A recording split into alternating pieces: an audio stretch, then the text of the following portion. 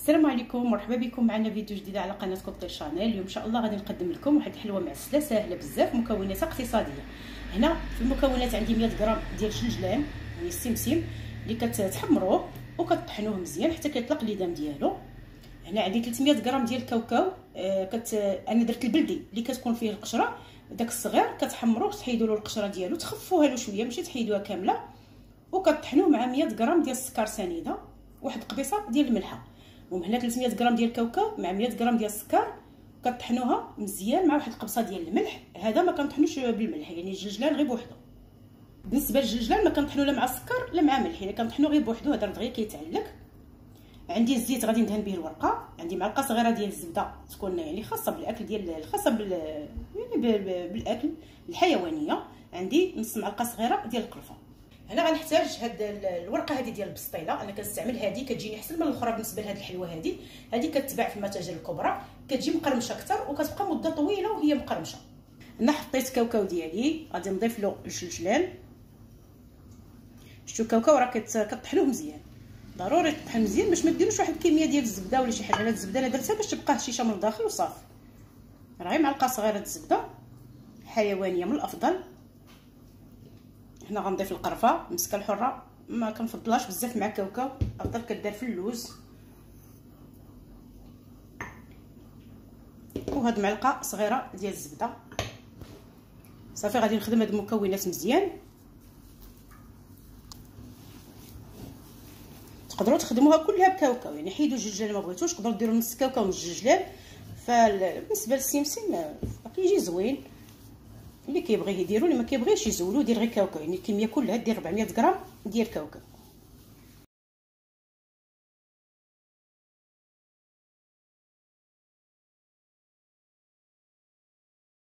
هانتوما البنات كتبداو تخدموا فيها ما حدكم كتخدموا فيها هي مازال كتطلق اليدام ديالها. هانتوما راه كتجي ساهلة باش كنديروها هكا حريبلات صافي غادي ناخذ هكا من من داك العقده اللي كتصاوبوا وكديروا هكا حريبلات كناخذ الورقة كندهنها غير بالزيت. ما دهنوهاش بالزبدة.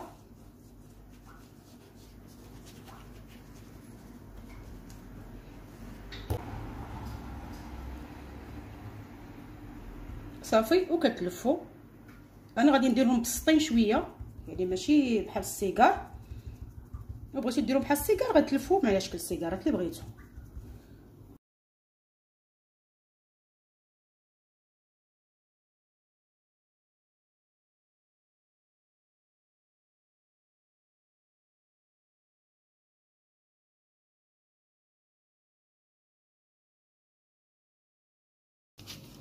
صافي البنات اللي كتلفوها كتوضعوها هكا فوق لاطه فرشة بورق الطهي من الأفضل.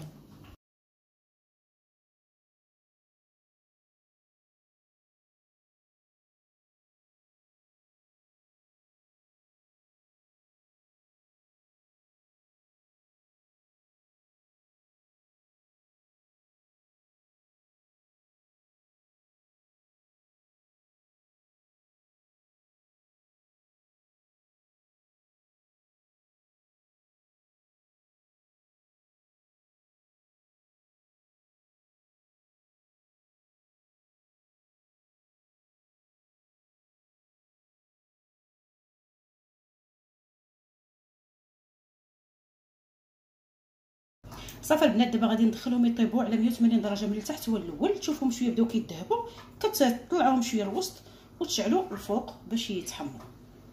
صافي البنات من بعد ما طابوا كما شفتوا غادي نعسلهم ونخليهم حتى يبردوا عاد ديك الساعة كنقطعهم.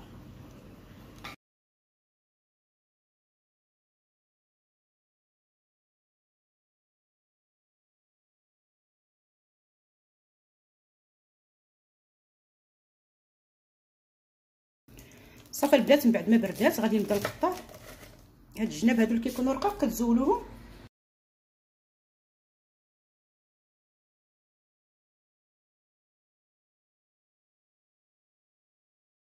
فوالا البنات كان هذا هو الشكل النهائي ديال الحلوة ديالنا ديال اليوم. كتجي بهذا الشكل زدتها واحد شوية ديال الجلجلان عندي محمر. كترشوها هكا من الفوق وكتوضعوهم هكا في الكيسات باش كت يعني باش ما يجيكمش شي فوقشي كنتمنى إن شاء الله تعجبكم. راه ساهلة بغيتو تضاعفوا المكونات.